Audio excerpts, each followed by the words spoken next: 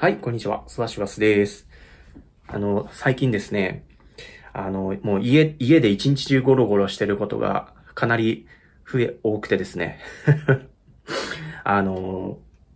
一、まあ、そのなんだろうな、何回でも、何回でも寝られるし、なんだろうな。とにかく、もうずっと、まあタブレットあるんですけど、これタブレットで、ずっといじってられるなって、まあちょっとやばいなって感じてるんですけど、ね、皆さんもそういう人いないですかね？あの、とにかくツイツイッター、YouTube、TikTok を無限に巡回しているっていう、それがもういつまでも終わらない。あの、これね、更新、タイムラインを更新すればいくらでも、その自分、自分へのおすすめツイートとかおすすめ動画とかいっぱい出てくるから、もう止まらないんですよね。それでこう一日中過ごし、一日中ね、こう寝、寝た状態、楽な姿勢で過ごしてしまって、で、結果さらにブクブク太ってしまうっていう、そういう悪循環なんですけど、なんかいざこう、ちょ、ちょっとあの、食べ物が、家に食べ物ないから、あの、コンビニ行ってちょっと買い出ししてくるかってなって、いざその、玄関のドア開けて、ちょっとなんか外に出て、外の空気を吸った瞬間に、なんか一気に気持ちがパーって晴れやかになって、あれ？なんか外に出るってこんなに健康的だったんだって感じるぐらい、その、なんでしょうね。その、そ、外出療法、外出療法並みの自分の中でのその外に出るっていうだけでこんなに、あの、なんでしょう。気気分転換になるんだっていう、ちょっとしょ最近そういう衝撃を、ささ、ささやかな、当たり、ごく当たり前な、ごく当たり前なんだけど、実はあんまり実感できてない幸せというか、あの、うん、自分への、うん、なんだ、なんかそういうのを感じてます。はい。でも皆さんも外出おすすめです。外出しましょう。もう玄関ね、その、ちょっと、まあ勇気を振り絞って、まず体を起こして、えーまあちょっと軽く、みじ、軽く身だしなみ整えて、それでこう、玄関の扉を、重い、重たい重たい玄関の扉を開けて外に出ようぜっていう お話でございます。ね。で、その、あの、どうしてこんなにあの、毎日毎日ずっと Twitter とか YouTube とか TikTok 見てられんのかなって、自分なりに、まあ、いろいろ考えてみたんですけど、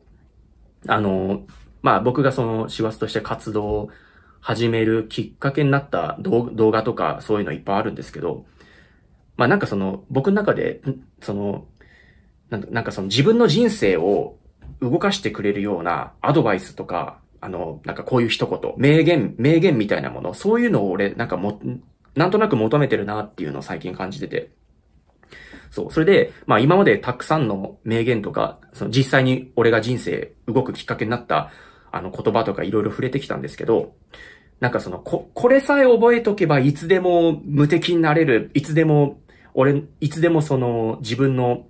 やる気とか情熱を整えられるっていう、そういう一言にまだ出会えてない感じがしてて、で、で、その、俺だけじゃなくて、そう、いろんな人、人って誰しもそういうのを求めて、なんか自分の人生を変えるきっかけになる、なんかもう、簡潔なフレ、ワンフレーズみたいなのを、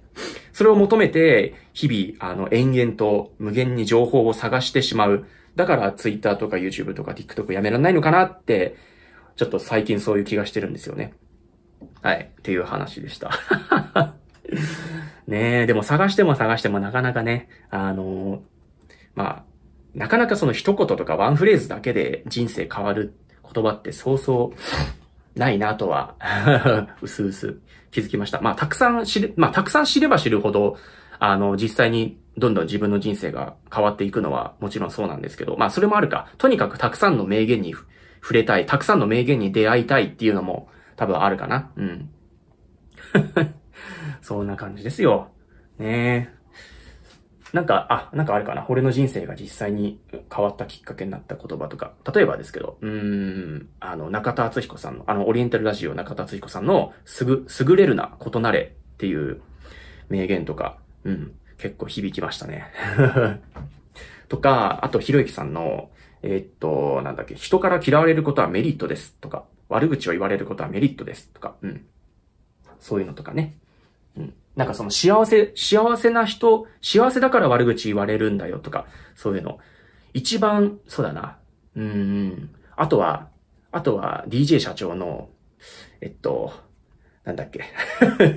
あの DJ 社長の有名な動画、40分くらいの有名な動画、あるじゃないですか。あれで、あれも結構僕が師走として活動を始めるきっかけになった動画の一つでもあって。そうそうそう。なんだっけ。お前なんか一発屋だって言われたら、じゃあ、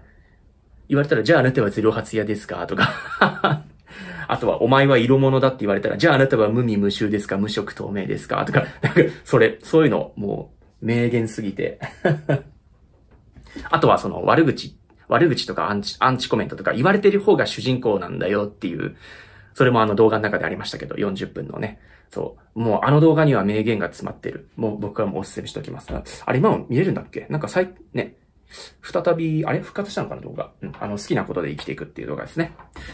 いやー、本当に、まあ、まあ、とにかく YouTube とか、まあ、特に YouTube の切り切り抜き系の動画でいっぱい救われましたね。いろいろと。うん。いや、ほんと先人の知恵というかね、やっぱり、その、金、金言って言うけど、金言？金言って言うけど、やっぱりすげえなって、ね、自分で、自分で人生切り開いてきた人の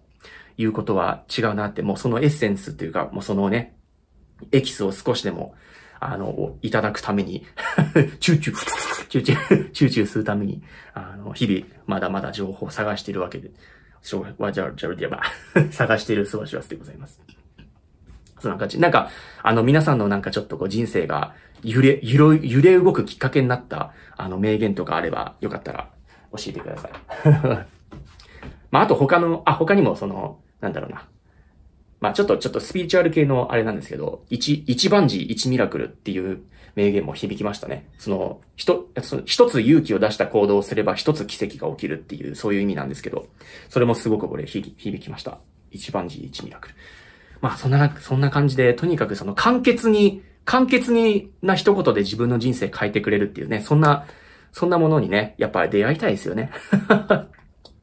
これからも俺はきっと、あの、ダラダラしながら ダラダラしながら少しずつ自分の人生を動かしていって、でな、まあ、ある日突然バズったら、それの波に、その味を占めて、で、波に乗って、うよっしゃ行ってやろうっていう感じで、やると、やろう、やるとしてるつもりです。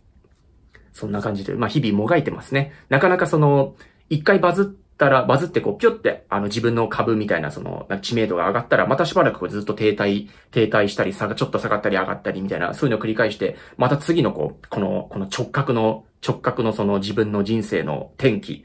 転機っていうのを、あの、待ち構えてるっていうか、な、でも起こしてやるぞっていう感じで、ずっと待ってるんですけど、ちょっと、あの、最近今年、今年去年からずっとね、その、こういう感じなんですよ。まあ自分の中での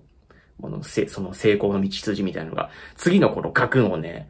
今か今からと待ち、待ってるんですけど、待ってちゃダメだな。やっぱり自分で起こさないと。そう、そういう感じですね。まあまあまあまあ、ダラダラしつつ、ダラダラしつつ、ブクブク太りつつ、次の奇跡を、ま、次の奇跡をね、信じて 日々、日々あの、なんか自己表現してる幸せでございます。はい。そんな感じですね。あ、8分経っちゃった。またなんか、あの、思いついたら雑談動画投稿します。はい。じゃあまた会いましょう。バイバイ。では、スワシワス、スワシワスでした。またねバイバーイ